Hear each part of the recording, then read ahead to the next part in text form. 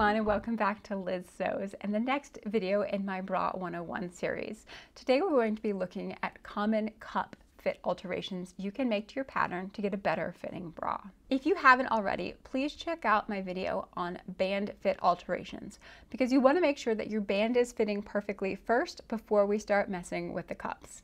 So let's get started. The first cup alteration I'm going to be looking at today is what Beverly Johnson calls rounding the crown. It's really common in self-made bras that women feel that the pattern might be a little too pointy. It's just giving a little bit too much pointed projection or the shape is not what they're used to. They may want something that's a little more softer, a little more rounder of a curve. Now, this is a really easy alteration to make, and I personally make it all the time. Not because I have a problem with pointy bras. As a matter of fact, I wear a lot of vintage style clothing, so pointy bras actually work out really well in those kind of dresses. The, the reason that I use it so frequently is that it reduces the projection in that I have a very shallow bust. It doesn't stick out very far, so that's why I use it. But it's also useful just if you want a rounder appearance. So the picture I have over here is an example of a one-piece bottom cup. So this would be similar to say the Pinup Girls Classic Bra or the Berkeley bra from Orange Lingerie or maybe the Black Beauty bra from Emerald Erin. So in this version, you can see we need to locate the apex of the cup. And generally, there's going to be a notch mark to indicate the apex. But if there's no notch mark, what you're really looking for is the tallest point of the cup. That's going to be where that pointiness is coming from. So in order to get just a little rounder of a shape, we need to draw a line from a known corner to the other known corner. But where we want to reduce ourselves is at that apex point. So in this example here, you can see the purple line will be what we are going to, the new cut line for this pattern piece instead of the black line. So we've stayed up with the same wire line along the bottom of the cut piece itself, but we have removed some of that projection just from the tippy point of your cup. Now, if you're doing this adjustment, you may need to look at your upper cut piece just to make sure that the distance of that seam or that curve is still going to match up. And if not, you just need to do some adjusting to make things true up a little bit better. So that is a very simple, easy way to sort of reduce the pointiness or projection in your bras if you have a one piece cup on the bottom. But what happens if you have maybe two pieces on the bottom? So that is going to be a very similar alteration just done across two pieces. So in this version, most of the time, I'm gonna say most of the time, the seam that you have between your two bottom cut pieces is going to be along your apex. So that's going to be the tallest point of that cup. So what I'm gonna do is measure down an equal distance on both of those cut pieces let's say a quarter of an inch. And then we're gonna draw in our new cut line from the known point on the corner of that cut piece to that quarter of an inch down on the first cut piece. And then once we've done that, we can go ahead into our second cut piece and do the same thing. We wanna connect that quarter of an inch down to the known point that we that is still good on the cut piece. We never want to change the wire line of the cut pieces. We're only looking at stuff that is in the interior of the bra here. And because we've come down the same amount on both of those cut pieces, a quarter of an inch and a quarter of an inch, or whatever it is you want to do, they should still meet up along that side, that seam and be the same length. Now that we understand how to reduce the pointiness of a bra, we can start looking at volume adjustments of your cup. So let's say that we need to overall increase or decrease the volume of the cup itself. The wire looks like it's fitting in fine, but you just have extra fabric or not enough fabric. When I say not enough fabric in your cups, it's generally very easy to see. Maybe you're spilling out over the top or on the side, or your wires are pushed away from your body. That means that your cups are too small because there's just not enough space for them to fully encapsulate. You might need more volume in your cups. So this technique should be fairly similar to a lot of the ones we've used in the bra fitting. So where we want to add volume is really at the apex of the cup point. We want to, this is if everything else looks like it's okay. So what we want to do is slash running through that apex. So we're going to slash through the upper cup piece running to the apex as well as the lower cup piece running from the apex. And you're either going to hinge from the neckline out if you want a more volume or hinge from the neckline and overlap if you want less volume. So the upper cut piece will hinge from the neckline and the lower cut pieces will hinge from the wire line. So that means you are not changing the length of the wire line or the neckline. You are just adding more material in the center of the cup or taking away material there. So once you've overlapped or spread apart, you need to go back in and fix all of your edges. So for the neckline, if it was a straight neckline before, we wanna make sure we maintain that straight neckline again. And you just do that by drawing a straight line from known point to known point. And on the lower cup, you just need to sort of smooth out that arc to make sure that you have still a nice smooth curve to sew to. So this is particularly useful if your wire is different from what your pattern says you should be using. So in my case, I use a 40 wire, but the cup volume that I tend to need is an A or a B cup, which is corresponding to a 36 wire. So what I'll do is I will pick out the pattern pieces for the 40 wire that I'm using and then reduce the volume in the center of the cup until it fits me appropriately.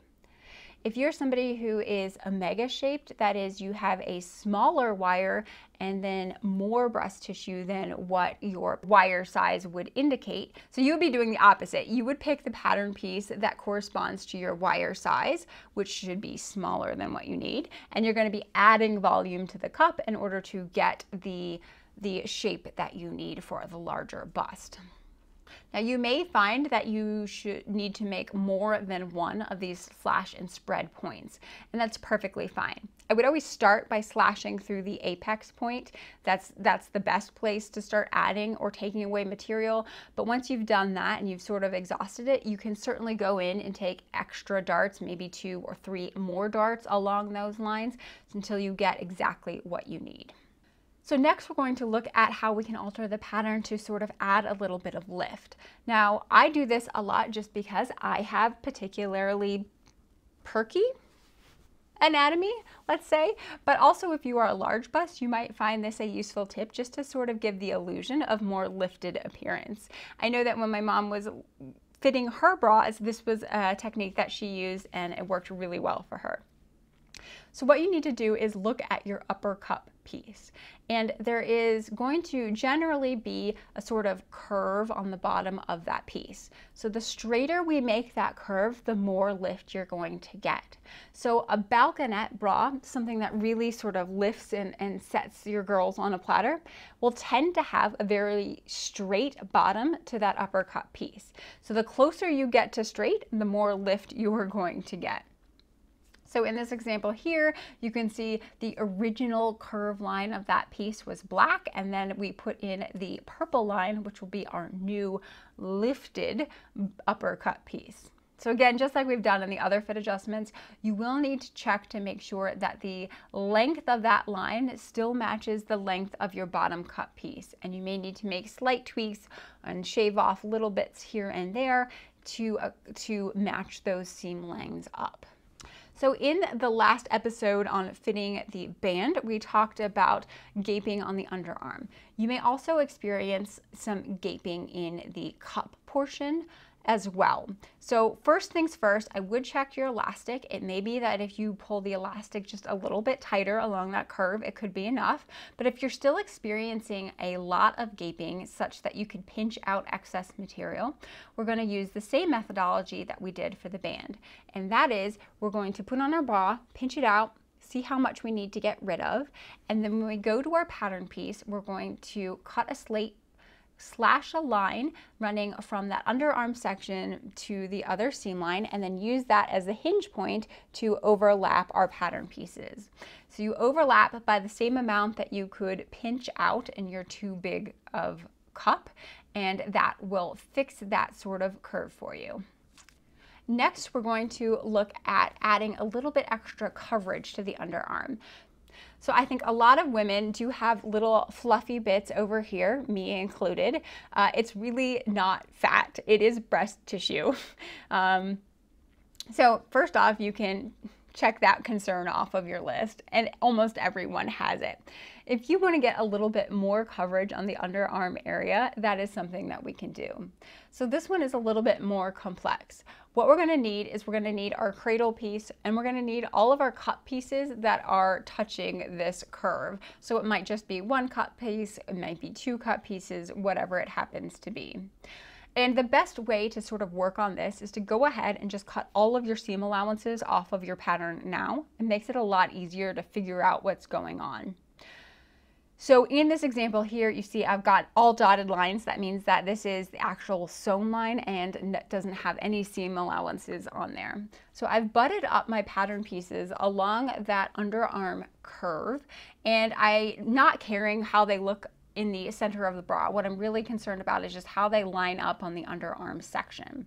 And once we've got that figured out, we can go ahead and draw in our new underarm curve. That's going to be the purple line in this diagram. So if you want more underarm coverage, of course, you draw the curve further out. And then we just need to connect our cut pieces to that purple line, and that's gonna be our new cut piece. Once you've done that, of course, you will need to add your seam allowances back into your cut piece. Should be about a quarter of an inch seam allowance all the way around. Alternatively, maybe you want less coverage in the underarm. Maybe there's too much fabric here and it's cutting in and you want to move it in a little bit more. You just do the opposite. So you can draw that purple line into the cut pieces and that's going to be the new end of your cut piece. So you can just cut your pattern off there and add your seam allowances in. And the next thing that we're going to look at is changing the neckline of your cut piece. So I frequently uh, have to shorten the neckline of my upper cut piece. And this tends to be true of people who maybe are a little bit more bottom heavy and don't have as much uh, breast tissue up here, maybe somebody who has breastfed and so sort of everything has dropped down a little bit. You're free, it's, it's really common that you might have some excess material on your cup line. So that is that when you put your bra on, you just have some extra material up here that's not sitting flush against your skin. So when we look at our pattern piece, what we need to do is again, we need to maintain the cross cup seam as long as that's looking fine, and we need to take out some distance from the neckline. So this is going to be sort of the opposite of adding volume to the apex. We're going to slash through that upper cut piece, just like we've done in most of our other fit alterations. And now we're going to hinge from the uh, cross cup seam. If you need to make your neckline wider, maybe you're really full up on top, then of course you spread it apart.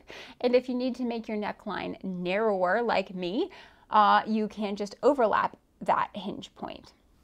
Once you've done that, you do need to redraw your lines. So connect known point to known point in a straight line if that's if a straight line what was there before.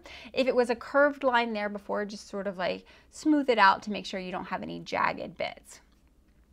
And same thing with the bottom of the cup as well, just sort of smooth out the curve of that line so you have a nice easy place to sew.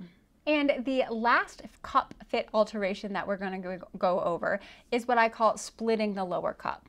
Now this is a very common thing that I see in the forums of people just say, oh, split the lower cup. Well, what does that mean? You need to split the lower cup if you find that there is not enough room for the bottom of your breast tissue. So it's like You'll get a flat spot in the bottom. It looks like a like just flat. That's really the best way to see it. And you also might see some bulging along the top of the neckline. Uh, and that's because there's just not enough room for everything to fall into place. So by splitting the lower cup, you're giving yourself a little bit more room just in the bottom cup, which allows everything to sort of drop into place and sit more comfortably. So this is really a fit alteration that's only for one direction, so adding more space to the bottom of cup. You wouldn't really split the cup to reduce the bottom cup volume. So when we're splitting our lower cup, we want to start out by taking our lower cup piece and slashing it a vertical line through the apex. So if you're unsure what the vertical line should be, it should be running either at a 90 degree angle to your, your arrows or parallel to the arrows on your pattern piece. That's going to get you that up and down that you really need. So you're to slash your pattern piece there and you're going to spread the pattern piece apart. Now you have two pattern pieces. Next, we need to decide how much more you need to add to your bottom cup. I think a good place to start out is adding a quarter of an inch to each side. So a quarter of an inch to each side is a half of an inch in total. If you need to add more than three quarters of an inch in total, I would definitely recommend going up to the next size cup. So this alteration will help you get there if you're close but no cigar. But if you need it the next size cup up, you should really go to the next size cup up.